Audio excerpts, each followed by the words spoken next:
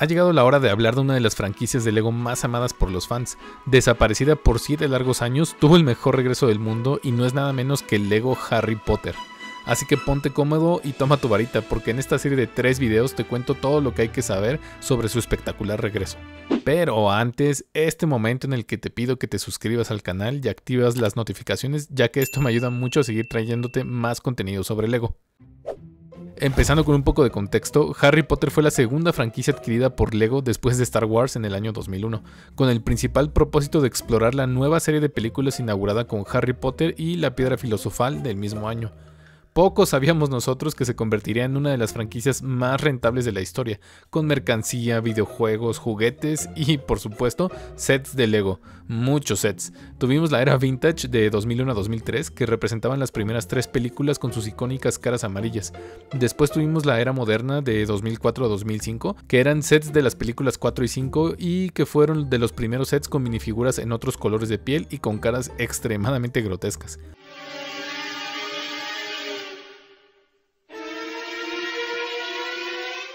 En 2006 descansaron la producción y en 2007 solo tuvimos un único set del castillo para la sexta película y los sets regresaron hasta el año 2010 para empalmar con las Reliquias de la Muerte parte 1 y 2 hasta el año 2011 donde Lego detuvo la producción de sets por la simple y sencilla razón de que ya no había más películas de Harry Potter en el cine.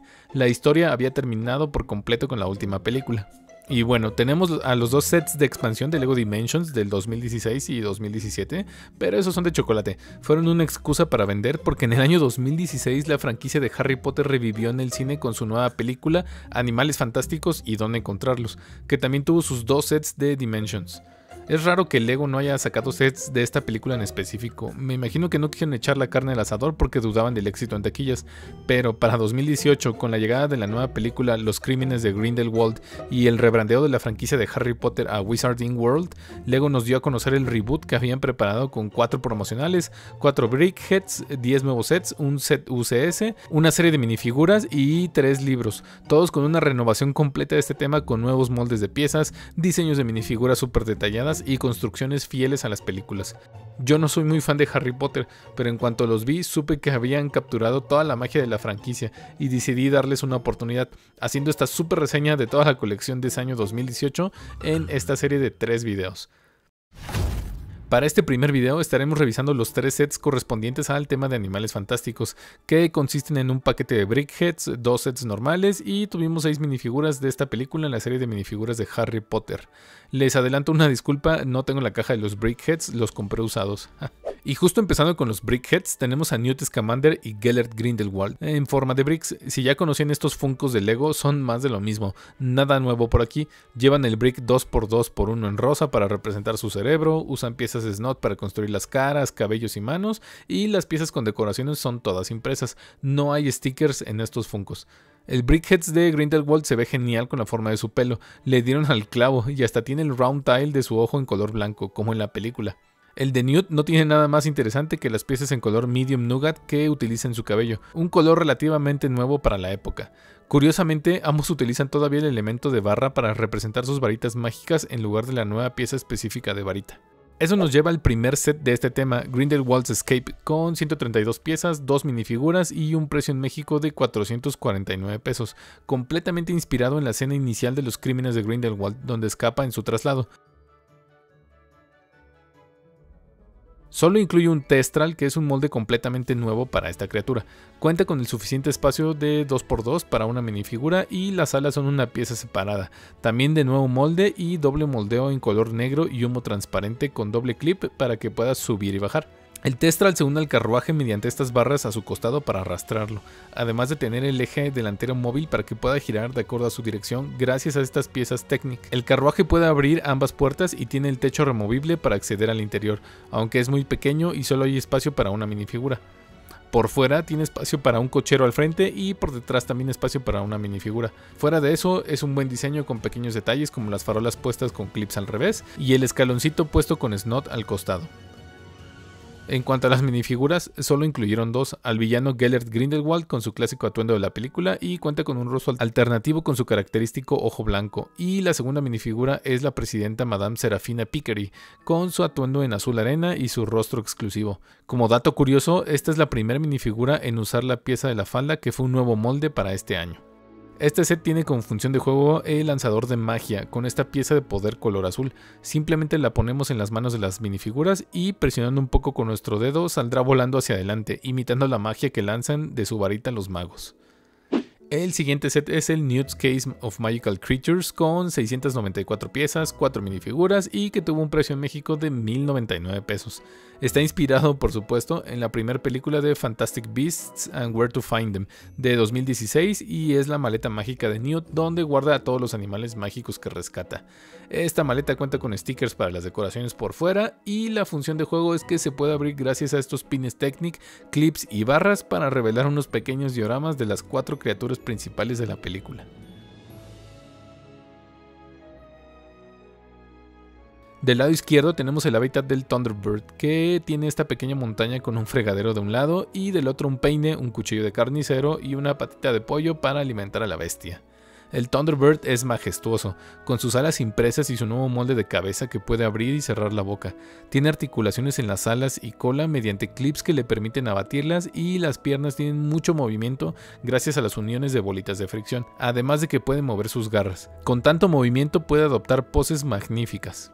En la parte de en medio tenemos la pequeña antesala en forma de cabaña que tiene unas pociones del lado derecho y una tile 2x2 impresa con la imagen de Lyra Lestrange como un guiño a la película. Esta sección también tiene unas escaleras para simular la entrada a la maleta. Del lado derecho está el nido con un huevo del Okami hecho con este elemento de cuello de minifigura. Esta criatura está compuesta de secciones unidas con bolas de fricción, lo que le permite un movimiento completo para adoptar las formas y poses más extrañas.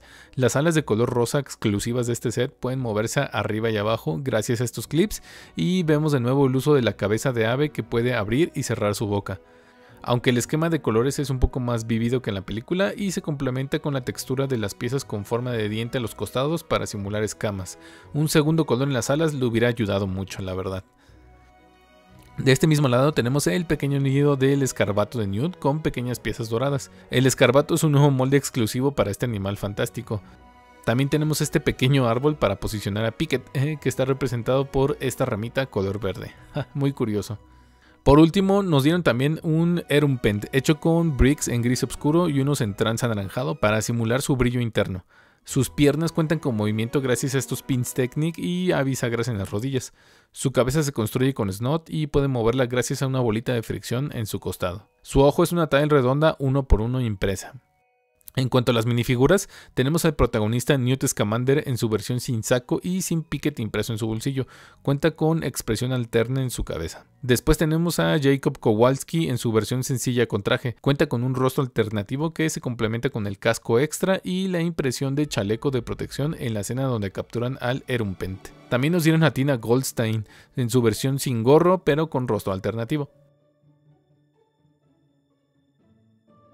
Finalmente tenemos a Queenie Goldstein, una de las minifiguras más bonitas de este reboot, con detalles en pintura metálica rosa y dos rostros muy expresivos, y su pelo en color nougat que permanece relativamente exclusivo a esta minifigura. Para terminar, tenemos a las 6 minifiguras de animales fantásticos incluidos en la serie 1 de Harry Potter. Como no es sorpresa de nadie, tenemos de nuevo a los protagonistas. Newt con su traje completo, incluyendo su saco azul, tiene a Pickett impreso saliendo de sus bolsillos, un detalle excelente, aunque solo cuenta con un rostro, no hay alternativo, además de tener piernas de doble moldeo impresas. Como accesorios tiene esta nueva pieza de maletín que puede abrirse y cerrarse, aunque no tiene nada dentro, pero sí que incluye otra figura de escarbato. Aquí podemos ver una comparación con su versión del set del maletín y la verdad es que a mí me gusta más esta minifigura de la serie. La siguiente minifigura es Jacob Kowalski con su traje normal y su sonrisa tonta. Solo cuenta con un rostro, no hay expresión alternativa, pero incluye otro maletín igual al de Newt, lleno de dos tiles redondas con impresión de panes exclusivas de esta figura. Aquí tenemos una comparación contra su versión del set y por lo menos son lo suficientemente diferentes como para distinguirlos.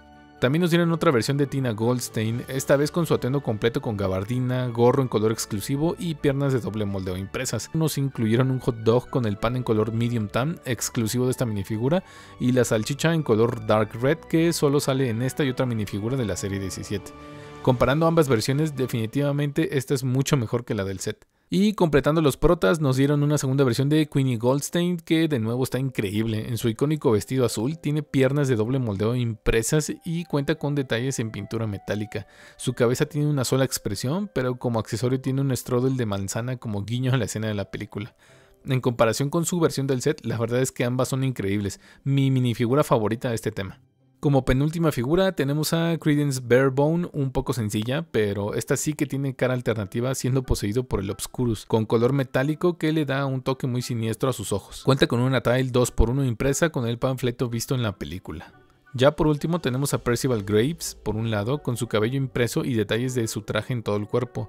Y por el otro lado tenemos a Grindelwald con un cabello alternativo en color blanco y su característico ojo blanco.